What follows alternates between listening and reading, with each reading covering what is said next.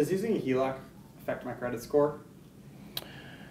Uh, positively and potentially negatively. Um, not too terribly negatively. Um, it depends on the bank you go to, and this is something else that's different. When I talk about, you, you have to understand the banking industry. You have to know how the banks report because some banks will report a home equity line of credit like a revolving line of credit. It is truly a revolving line of credit, but they don't report it as a real estate loan or a secured line of credit. Uh, and it's a massive difference to the credit bureaus. So let's say you, you got a HELOC for 300,000 and it's maxed out at 300,000. If it's being reported as a revolving line of credit and a revolving line of credit only, not a secured one or a real estate loan, then that looks like a maxed out credit card of 300,000.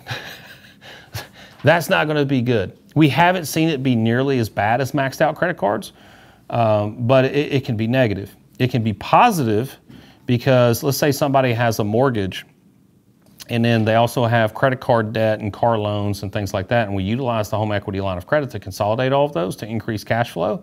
Well, then their credit scores go up.